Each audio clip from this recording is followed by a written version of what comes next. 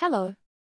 Apple is working to reduce its environmental impact by transitioning to 100% recycled cobalt, rare earth elements, and tin soldering by 2025 in order to create batteries, magnets, and circuit boards for their devices.